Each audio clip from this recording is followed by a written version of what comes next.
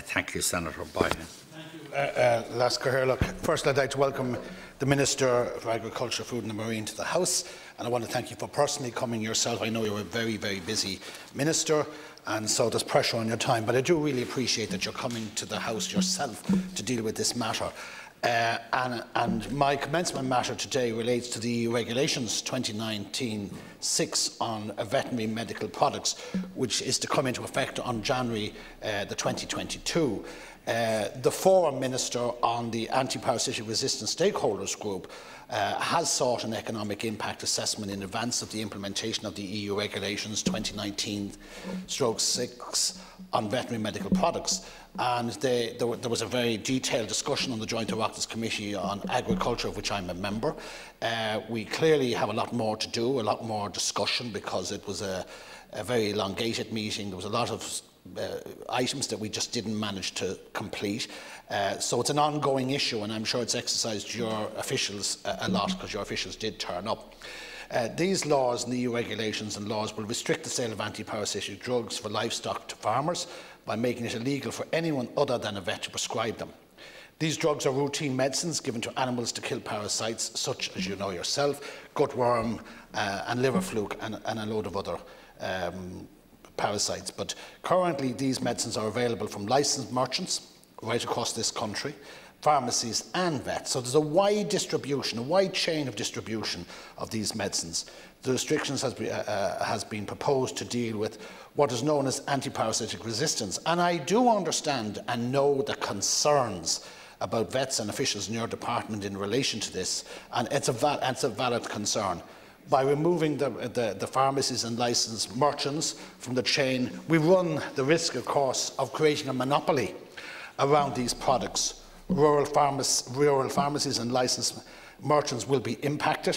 Farmers will have to pay prescription charges, possibly adding to the cost in relation to these matters. And of course, we run the risk of increased prices and higher prices too, and the risk of a monopoly in, in relation to veterinary and agricultural medicines. Northern Ireland, on the other hand, Minister, and we talk about that sort of shared island, and I'm all in favour of shared island, but Northern Ireland uh, has a derogation of this regulation. If we do not do this, we enter into uncertainty with separate jurisdictions, separate approaches to dealing with this, and the, the negative issues all around that. So, Minister, this is really a concern. Uh, I think it's important that we have consistency of approach how we deal with this across the island of Ireland. And of course, we cannot and will not and should not compromise on human or animal health and safety and an important knock-on effect to the food chain. And so I understand the whole chain of events and I understand your officials' concern. But I also understand the concerns about the same unified approach across the island of Ireland. So in conclusion, Minister, um, you will be pleased, I would urge you to seek a definitive legal advice from the Attorney General in relation to this matter. I think it's important that we have uh, an economic assessment of the impact of this, this, this uh, directive or regulation because I think that's really important and what, what, what the anti-parasitic resistant stakeholders want is some sort of an economic assessment of the impacts of it. These are critical issues in relation to agriculture, your breach, animal welfare, animal health, the food chain, responsible persons, and I think they've worked well. We may need to improve issues around responsible persons for the, for, for the, for the impact on this legislation or regulation. And it will ultimately have impact on rural communities, many rural communities in relation to this and the cost. So look, in essence, uh, Minister, I'm asking, have you got legal advice? Is your intention to seek legal advice from the AG's office? Is your intention to seek deregulation, or, der or derogation, should I say, uh, from this regulation? Thank you. Thank to response, I just hope that his, the temper and the mood of his response will not be coloured by events of the last few days, by last Sunday's events. Minister, you're welcome. Um, thanks, Senator Riley. No, and listen, um, my congratulations to your own county in that. I think, uh, apart from the, the tremendous the,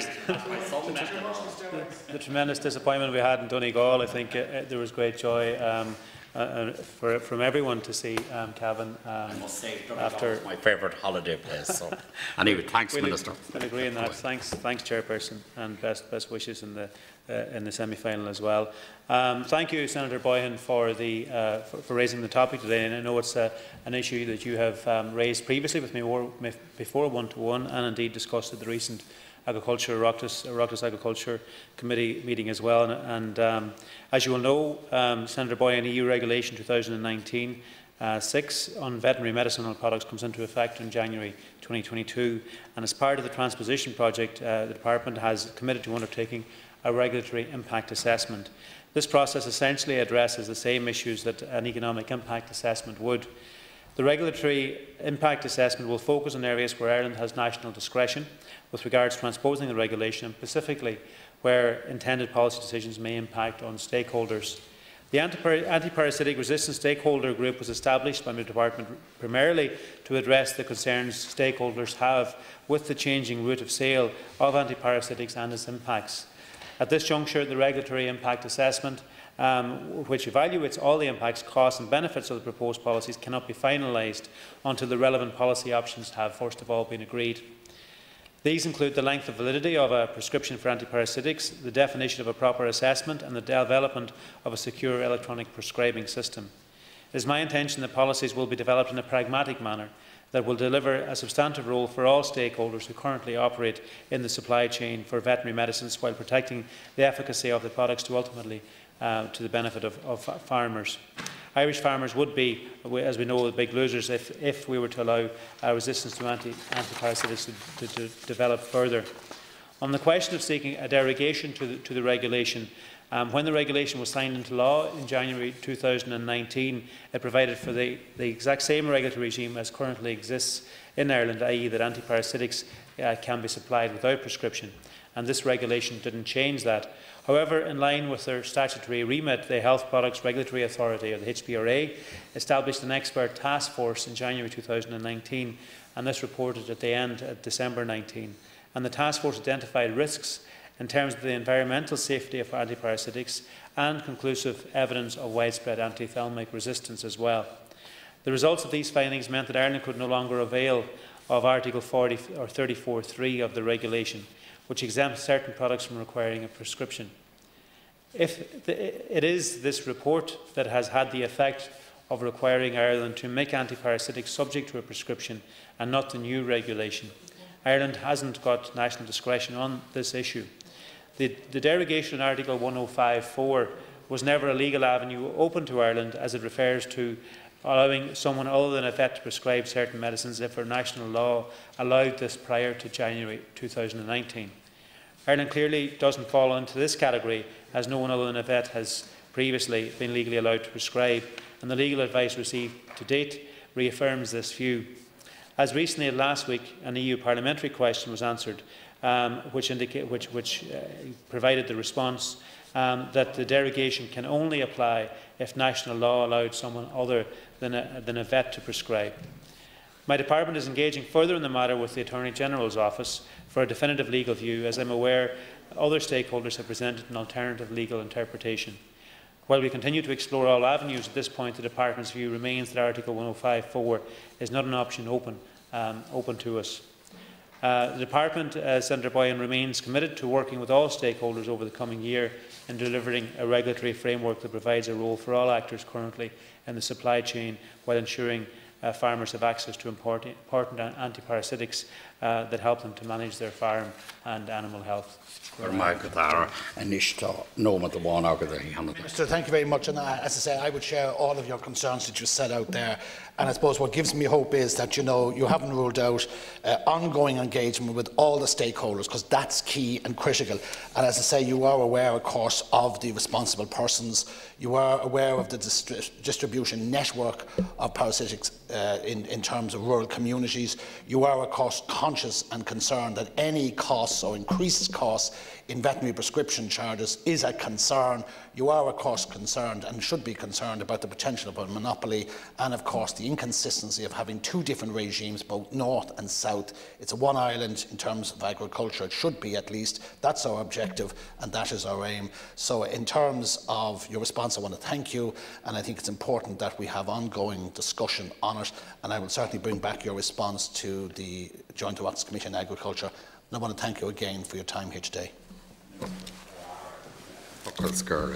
Uh, Thank you, uh, Senator Boyhan. And um, yeah, no, listen, I'm very much aware of the issues and the concerns among um, wholesalers and um, uh, uh, merchants in relation to the potential impact that this would have on their, their business. Also, in relation to concerns among the farming community as to whether any change would uh, lead to an increase in costs or uh, additional challenges for them.